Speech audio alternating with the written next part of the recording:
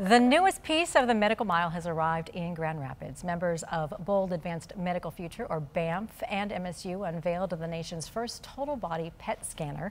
This new scanner brings same-day cancer diagnosis and treatment to Grand Rapids. This total body scanner will be available to scan patients for cancer in just one minute compared to 20 to 40 minutes. It took six years for this vision to become a reality. Dr. Mark Delano with Michigan State University says this would not be possible without the collaboration with BAMF and everyone involved. We're becoming the referral center uh, uh, for best practices. So world-class best practices coming out of Grand Rapids, Michigan. Uh, who'd have thought that when I grew up uh, just down the street? So I, am uh, really excited about that.